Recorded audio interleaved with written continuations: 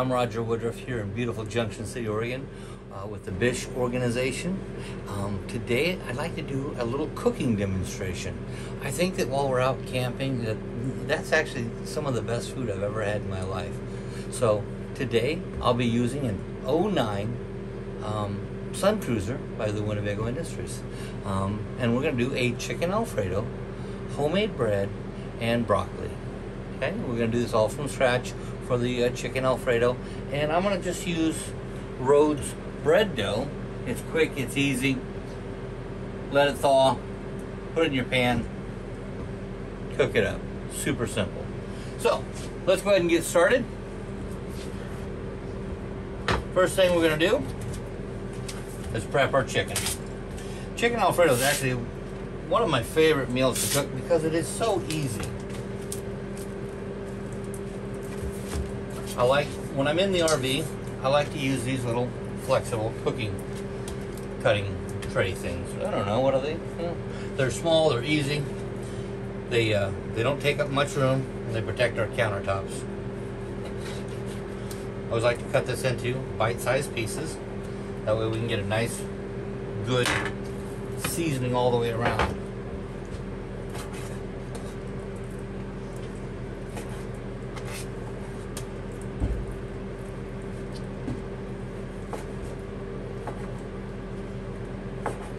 Try not to cut them into very big pieces. I like, you know, just you know, chicken breast one bite, but uh, I find that other people don't quite want to take bites that size. So.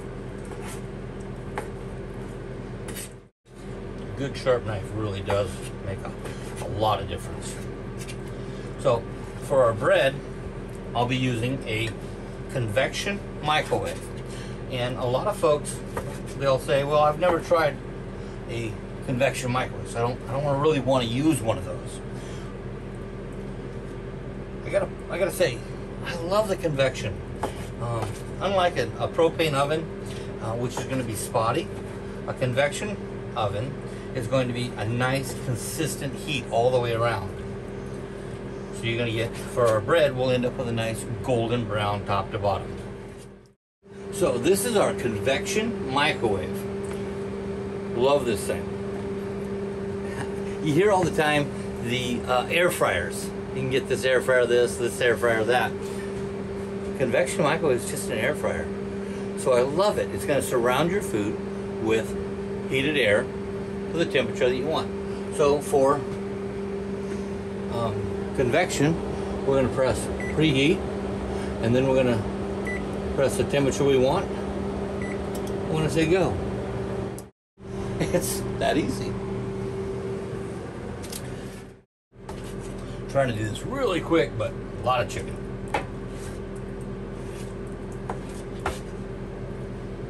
I know my coworkers are going to be enjoying today's lunch. Well, at least the ones I like. You hear the uh, the hum in the background of the convection microwave using that, that fan to move hot air around. Looks like our bread is just about ready to go in. So, while I've got that preheating, we're going to go ahead and get our pan warming up for our chicken. A little bit of olive oil.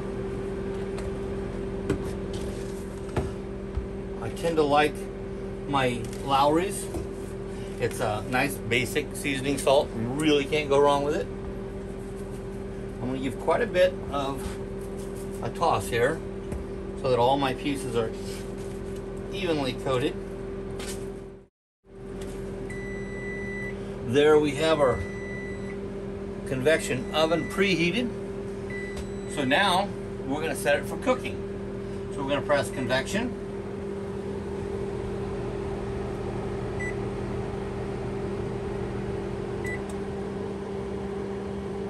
Open the uh, open it up. Put our bread in there. Beautiful loaf of bread. Set it right in the middle. It's gonna do a little spin. Okay, now we're gonna press convection. Number six. Then how long do we want it? I want it to go for 20 minutes. Hit start. we're making bread. Ooh, now we're going to be making some uh, chicken. Okay. There we go. Got it all nicely seasoned up.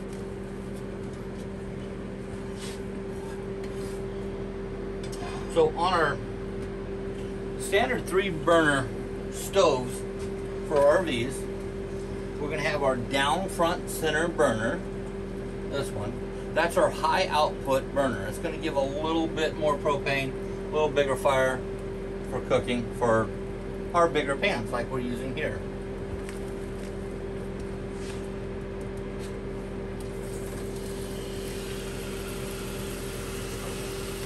Get that sizzling up.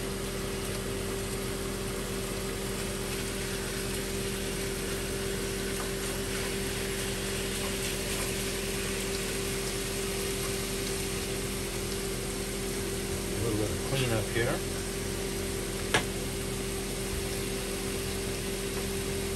And you can see I, I picked a coach that doesn't have a whole lot of counter space. I did that because that was also one of our complaints is I need more space. I'm doing quite well with making a, a really nice lunch dinner here.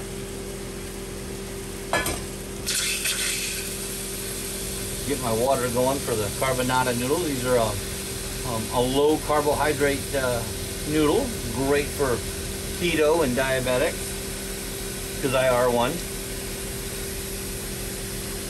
These are very fast cooking noodles. We're going to cook in about three minutes. So obviously I want to get that chicken cooked up quite a bit. And chicken Alfredo, you can get the stuff in the um, in the jar. A lot of people will like that. I find that after I've done it this way, making it from scratch, I'll never go back to the jar. And it's really so simple to make. Very few ingredients. Let that cook for a little bit. And now we wait. We've got the uh, chicken that's pretty well grilled off. Um, now we're going to reduce the amount of liquid, the moisture from the chicken. I want to get that really gone um, because then we're going to deglaze our pan with a little bit of white wine. Get all that flavor resuspended after we've compressed it down with dehydration. We've cooked off all the liquid, nice dry pan. So now we want to get that flavor resuspended. I like a little bit of a Chardonnay. Doesn't take much.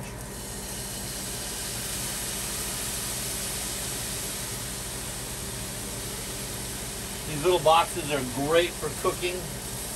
They, they fit in the refrigerator nicely. They don't uh, get knocked around because we are in a, you know a man a, uh, an RV, so it's going to be driving around and always want to think about what we have in our fridge and our cupboards so that we don't uh, so we don't lose anything. Next, we're going to add a little bit of uh, half and half. Some people like milk. Half and half has less sugar in it. The more you add, the uh, the creamier the uh, the sauce is going to be for the noodles. A good dollop of sour cream. Get this all stirred together.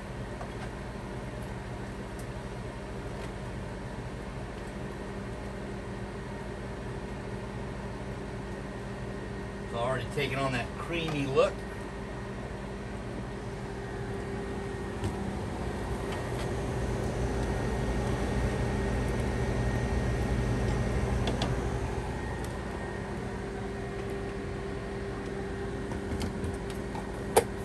So that was about a cup of uh, sour cream, about three quarters of a cup of uh, half and half.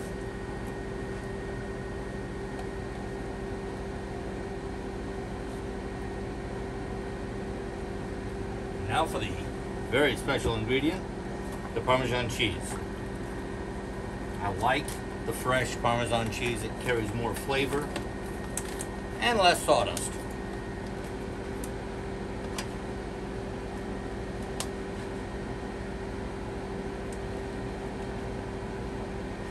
My wife says you can never have too much Parmesan cheese. I tend to think she's wrong, but there is our chicken Alfredo. Just waiting for the noodles. Oh, our bread. You should see the bread. It's just beautiful.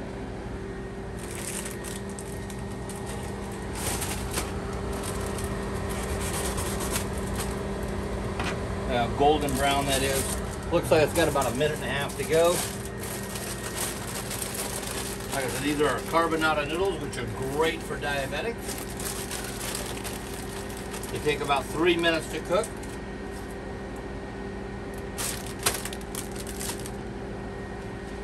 I forgot the lid to my pan, so I'm going to be using the bottom of my paper plates. Get that turned all the way down.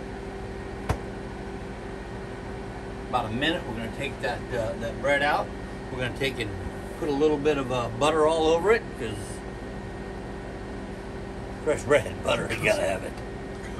The smell of a homemade bread in the RV, that's one of those those things that you just never forget. It's such a great taste, a great, great smell. It brings you right back to your grandma and grandpa.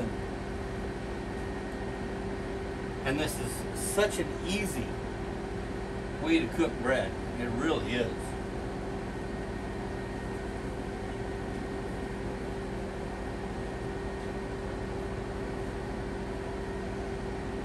I can pull it out right now, but it's got 20 seconds. I'm like, I must do it the extra 20 seconds.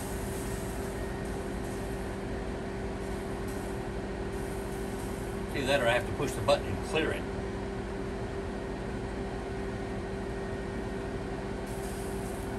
And now, my convection microwave is going to tell me the food is ready.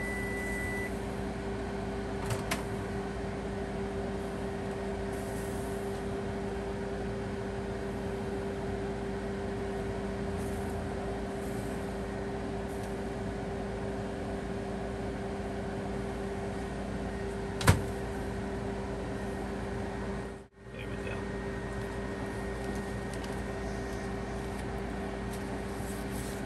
A bit of butter across there. Just kind of let it set while we finish up cooking up the rest of the stuff.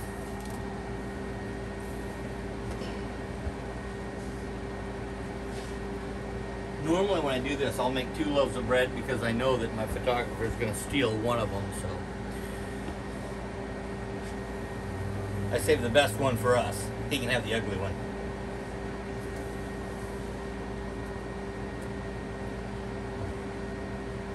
So now our convection oven, our air fryer, our microwave, is now going to cool down before it shuts off.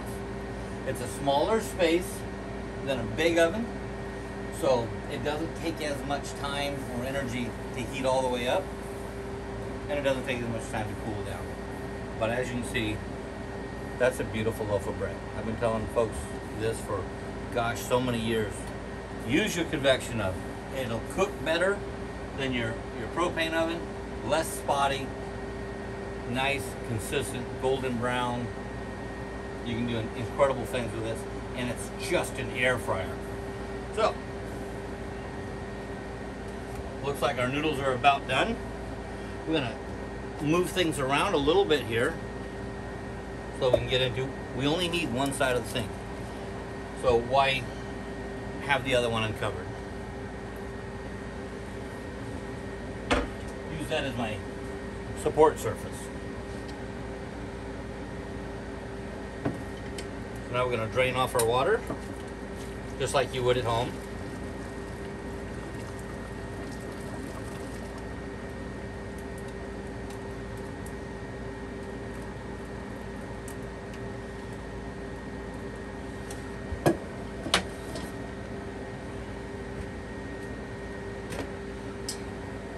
Water right back in this. Counting the bread, I'm only going to be using three pans for the broccoli, the noodles, and the chicken alfredo, and the, and the bread. So, recycle my pan, get my broccoli because you've got to have vegetables with your dinner. The, um, the Carba-Nada noodles are a high fiber noodle.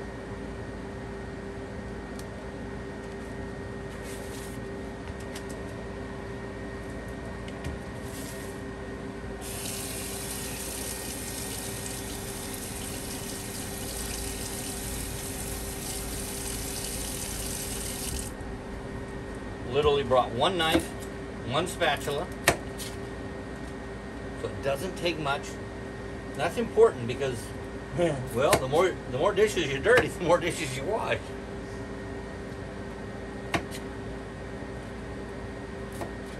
Get some nice broccoli flowerets.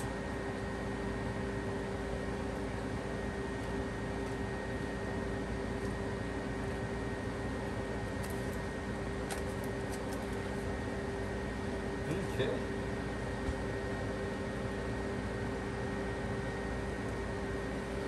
Give this a nice stir. Oh, it's looking beautiful.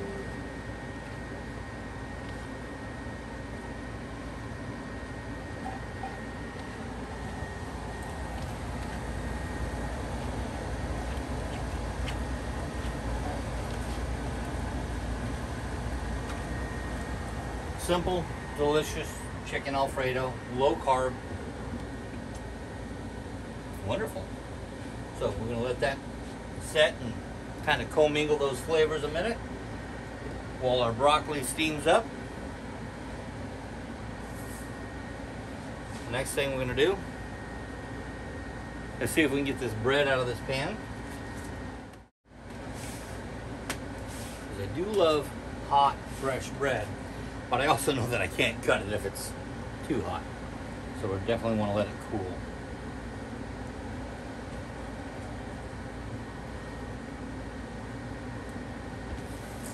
Yeah, I knew I was going to drop that bread right into that sink.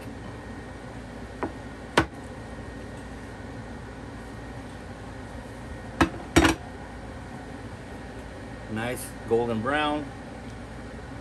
Whew. Still very warm. Putting our stuff away. Normally I'd just put this right in the fridge, but well, this is not my RV. This is just one of them we have for sale here in Bish's in Junction City. So, leaving stuff in the fridge is probably not an option.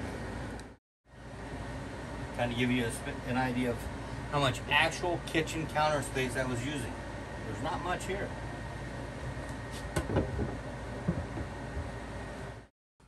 All right, so this is the blind taste test.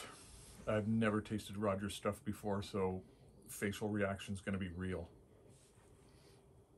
I don't have a fork. I do this all the time.